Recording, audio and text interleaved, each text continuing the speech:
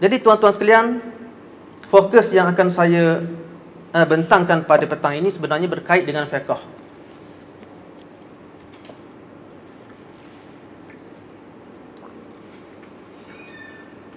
Dan jika tuan-tuan sekalian melihat kepada uh, kertas kerja ataupun slide yang disediakan oleh saya, kita dapati saya akan mulakan perbincangan fiqh dalam bab puasa ni saya nak mulakan dengan ijma'. Saya nak mulakan dengan ijma'. Sebab apa tuan-tuan sekalian?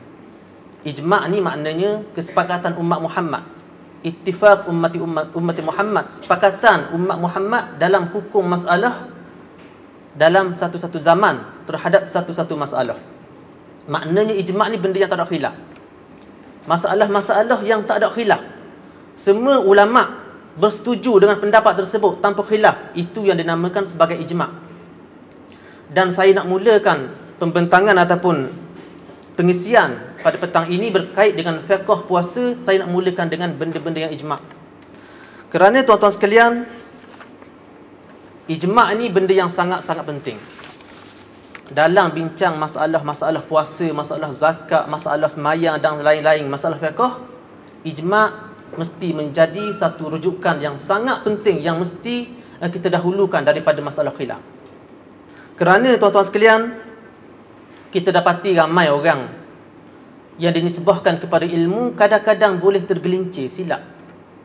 Boleh tergelincir Benda tu benda tak ada khilaf, benda yang ijma' daripada zaman Nabi sehingga zaman kita ni ijma' benda yang tak ada khilaf. Tiba-tiba mari dia orang tanya soalan, kata dua pendapat. Ha, dua pendapat. Bukan setakat kata dua pendapat, tarjih pendapat yang tak betul yang menyalahi ijma'. Ini bala tuan-tuan sekalian. Kalau kita bercakap tentang ilmu, tak tahu ijma', tak tahu khilaf, ini masalah besar. Memang orang yang tak tahu ijma' dan tak tahu beza antara masalah ijma' dan masalah khilaf tak boleh tuan-tuan sekalian nak gelar dia sebagai ahli ilmu. Talibul ilmi, tak boleh. Sebab ilmu ni dia mesti yang pertama berdasarkan kepada asas. Selain Quran Sunnah, ijma' merupakan hujah yang asas.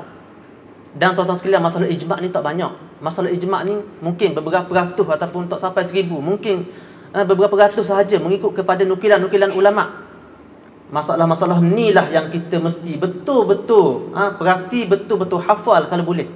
Guru-guru kita biasa menyebut Biar kita boleh ijma' karangan Ibn al-Munzir tu Jadi wirid Biar baca, biar faham. Start daripada awal sehingga akhir tu Biar masalah ijma' kita boleh kita boleh lumak. Biar kita boleh hadam masalah ijma' Supaya tak, ter, tak, tak, tak berlaku kegelinciran, kesilapan Dalam menukilkan ijma' Ataupun dalam menukilkan khilaf Benda yang tak ada uh, khilafnya kata ada khilaf sebab itulah satu uh, satu kisah yang dinamakan kisah fihi kaulan. Ada satu kisah yang diceritakan oleh setengah guru-guru kita masalah fihi kaulan. Kisah ni uh, ada seorang seorang seorang alim lah, seorang alim.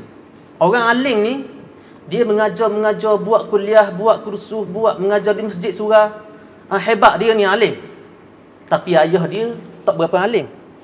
Ayah dia tak berapa alim bukan di kalangan orang berilmu. Kemudian si ayah ni rasa nak mengajar juga. Dia rasa nak jadi alim macam anak dia juga.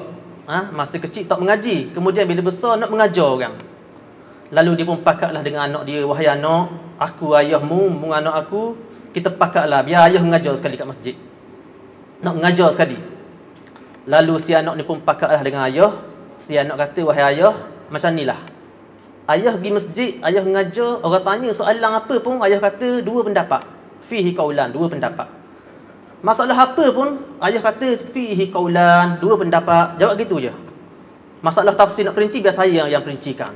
Kemudian ayah ni pun dalam masjid, mengajar. Pergi surah, mengajar. Buat kuliah. Orang tanya masalah tolak, masalah ceraikan isteri. Wahai Tuk Guru, aku ada masalah sekian-sekian, isteri aku sekian-sekian. Aku pun sebut dekat marah sekian-sekian. Talakkan aku terceraikan isteri aku. Kata si ayah fihi qaulan. Dua pendapat katanya. Lalu tafsir dia anak dia jawab. Anak dia kata gini pendapat pertama boleh pendapat kedua tak boleh. Pendapat pertama dalil sekian-sekian yang kedua sekian-sekian. Habis mesti masalah. Mari masalah kedua pula.